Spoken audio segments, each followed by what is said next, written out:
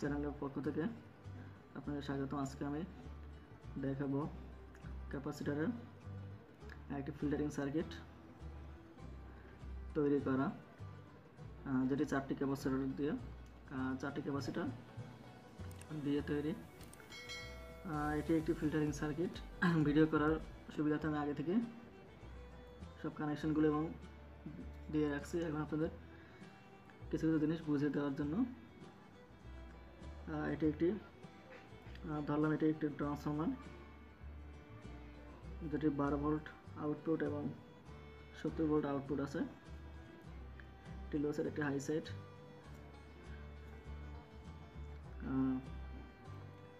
এটি সাধারণত বিভিন্ন বারো ভোল্ট যেগুলো কাজ করা হয় ফ্যান চালানোর কাজে বা বিভিন্ন ভলিউম সার্কিট দিতে জন্য বারো ভোল্ট আমরা ব্যবহার করি এবং হাই সাইড যে শব্দ বোর্ড এটি আমরা ট্রানজিস্টার ভোল্টের জন্য ব্যবহার করি। এর জন্য একটি ব্রিজ ডায়োডে কানেকশন দিতে হয় এবং ক্যাপাসিটারে কানেকশন দিতে হয়। আর এখানে আমি চারটি ক্যাপাসিটার দিয়ে বানালাম সার্কিটটি তো প্রথমে একটি ব্রিজ ডায়োডের আমাদের চারটি টার্মিনাল থাকে। একটি পজিটিভ হলে অপরটি হবে নেগেটিভ এবং এই দুই সাইডেরটি হবে ট্রান্সফর্মার লাইন ফেজ লাইন তাই ট্রান্সফর্মারের একটি দিলাম ডায়োডের একটি লাইনে এসি এবং ট্রান্সফর্মার লাইনটি দিলাম ডায়োড অপর লাইন এবং এই দুটি হবে নেগেটিভ পজিটিভ এখান থেকে আউটপুট ভোল্টেজ বের হবে। এরপর চারটি ক্যাপাসিটর নিয়ে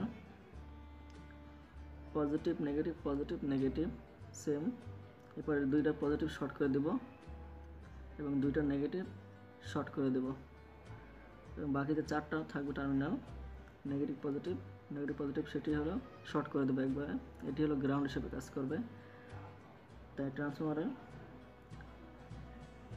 যে কমন তারটি আছে, সেটি হলো গ্রাউন্ড হিসেবে ব্যবহার করব।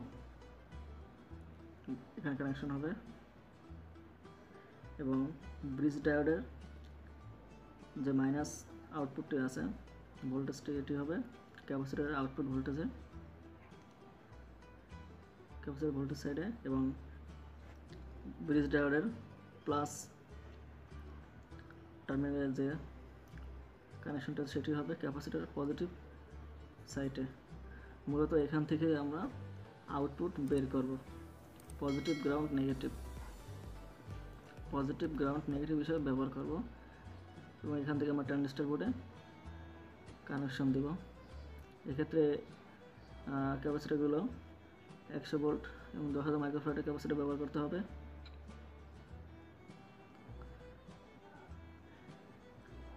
এটি চারটি ক্যাপাসিটর দিয়ে দেখালাম। তো এইভাবে একটি চারটি ক্যাপাসিটার দিয়ে একটি ফিল্টারিং সার্কিট তৈরি করা হয়ে থাকে।